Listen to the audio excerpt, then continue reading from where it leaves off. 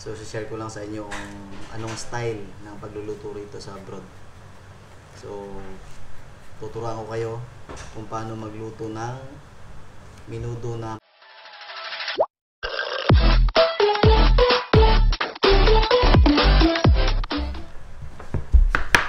What's up mga boss? So nagbabalik muli Joel TV So welcome back to my YouTube channel So ayun mga boss ah, Time check po tayo. It's already ah, 11.30 ng gabi.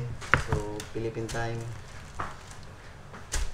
Ah, mag alas 4 na. So yun nga mga boss. Ah, Dahil wala pa tayong maisip na ibang content natin So share ko lang sa inyo kung anong style ng pagluluto rito sa abroad. So tuturuan ko kayo kung paano magluto ng minudo na manok. So, alam niyo mga boss, sa totoo lang, hindi ako marunong magluto. So, natuto lang ako nung pumunta ako rito sa abroad. Since, ah, uh, ba ako punta? Pumunta dito.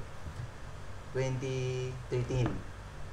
So, dahil mahal ang mga bilihin dito mga boss, so kailangan nating magluto.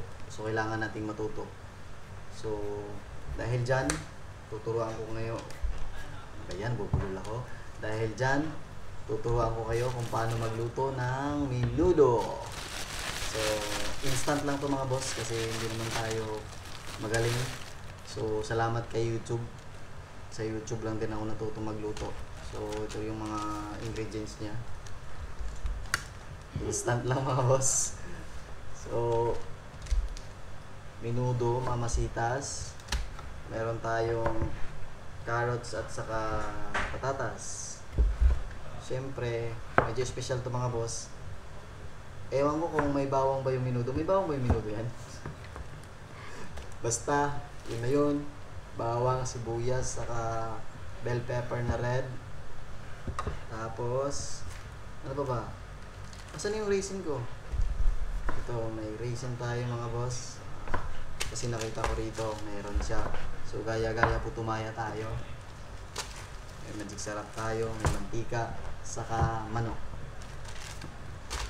So, yun nga mga boss. Anyway, ah, Ramadan Karim sa mga kaibigan nating Muslim dyan. So,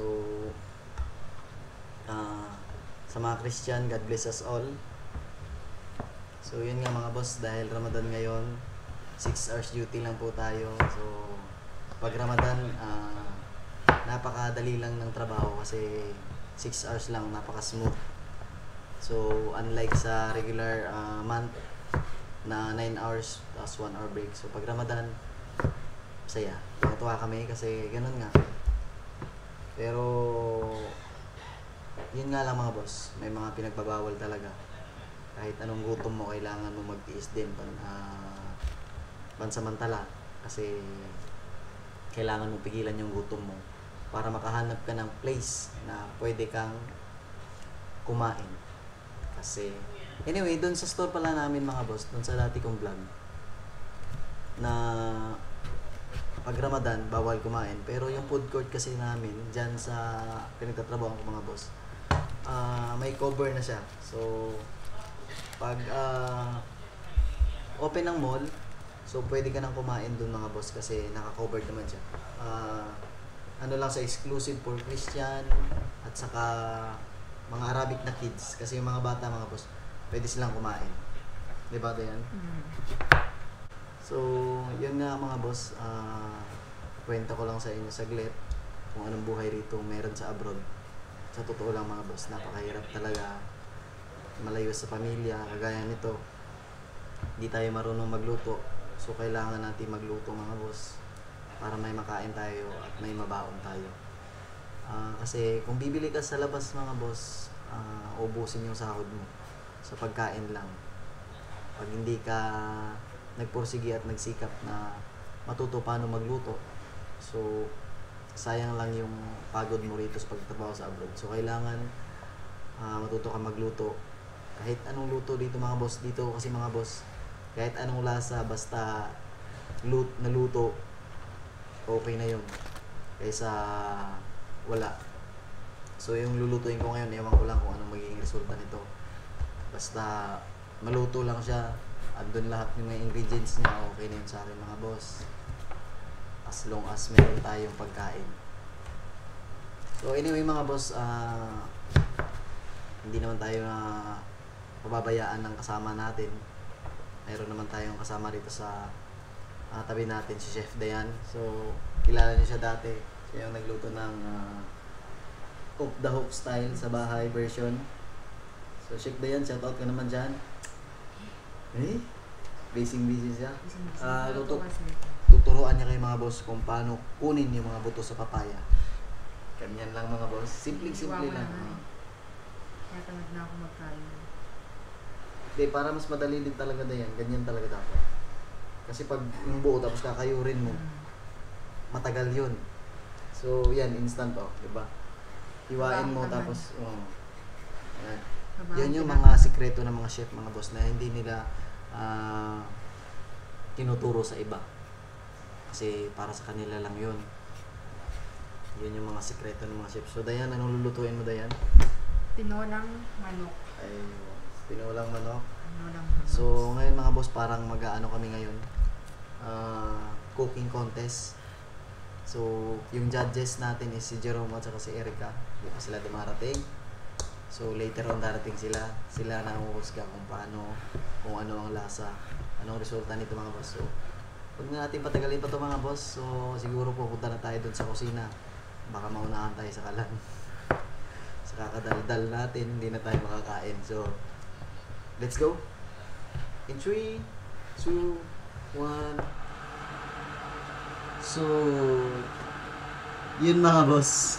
Kasi ba? So, mag-start na tayo. So, una, papainitin muna natin yung kalan. Yan. Minute na yung kalan.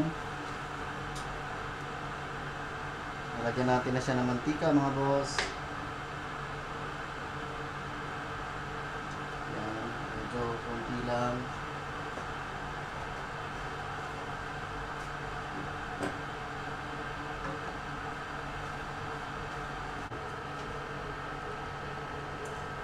Bawang.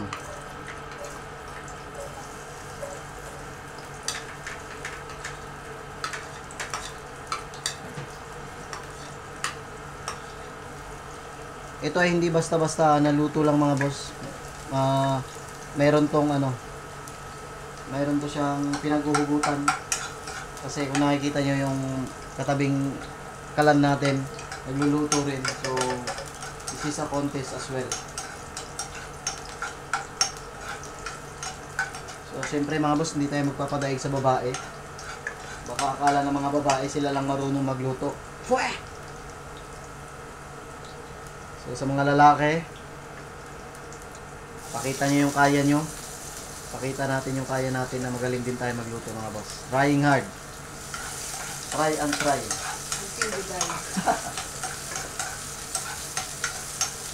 So, yan mix na natin ng konti. So, ayun, naglagay na rin siya ng ano niya. naglagay na rin siya mga boss. So,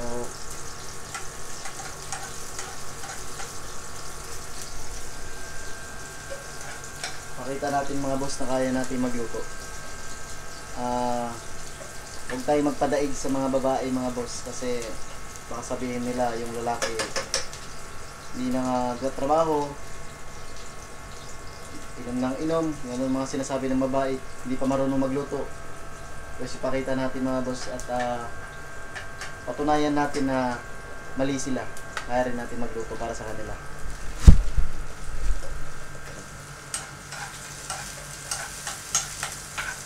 Tapos yan mga boss, medyo brownish na yung ano natin. So, panahon na ilagay natin yung manok, chicken.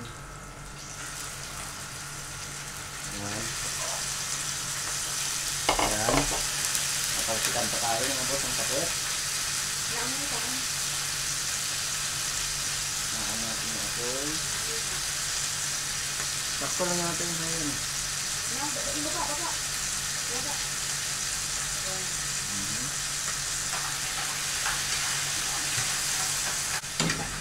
So, next step nito mga boss ay hindi ko na alam. So, siguro, ang susunod na nito is yung patatas at saka carrots. Kasi wala na tayong susunod pa. Siguro yun na yun. Tama ba yung ginagawa ko tayo? Ano ba lutoy mo? Minudo. Yung manok. So, hindi ako nagpapaturo mga boss. Nagtatanong lang ako.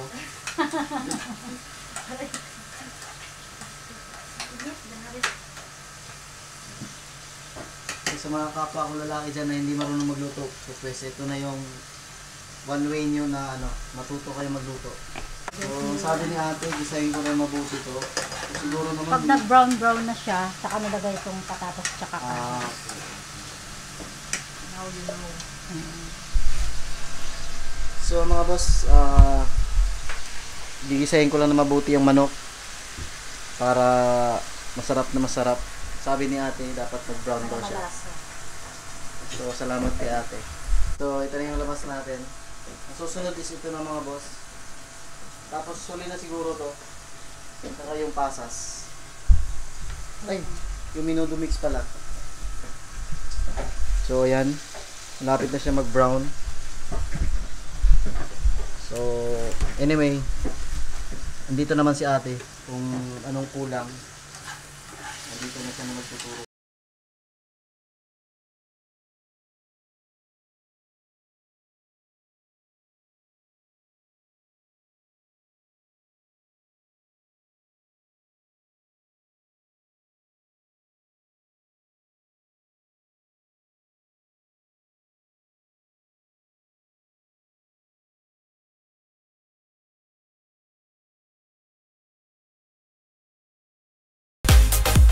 So yun mga boss, ah, malapit nang maluto yung ah, niluluto natin. So pagkulo nito mga boss, pag medyo ah, malambot na yung carrots at saka sa patata.